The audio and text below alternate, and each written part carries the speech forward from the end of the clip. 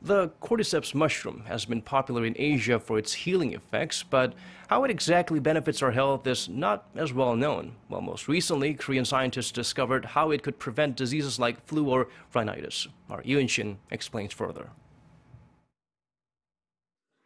It may look like a coral reef at first glance, but it's a special type of mushroom that grows in insects. From ancient times, the cordyceps has been used in herbal medicines. And now, thanks to a team of Korean researchers, how exactly the fungus helps strengthen the immune system has been discovered for the first time. The natural death of cells, known as apoptosis, is considered the most crucial part of an immunocyte. The cordyceps stimulate the immunocyte's activity and encourages apoptosis.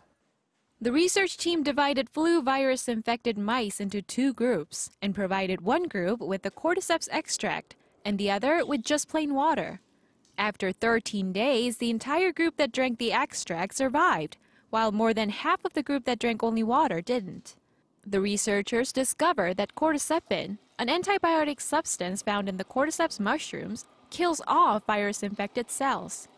On top of that, the amount of natural killer cells increased by over four times when the cordyceps extract was consumed. And human clinical trials with the mushroom produced similar results. Early results indicate that consuming 1.5 grams of cordyceps powder daily for three months could protect a person from chronic rhinitis and the common cold without any side effects. We are planning to do additional research to find out more about the substance in the cordyceps that is medicinal and will try to intensify it. With further research, expectations are high that additional benefits could eventually be discovered, and various pharmaceutical products, including herbal remedies, could one day become available. 이은신, 아리랑 뉴스.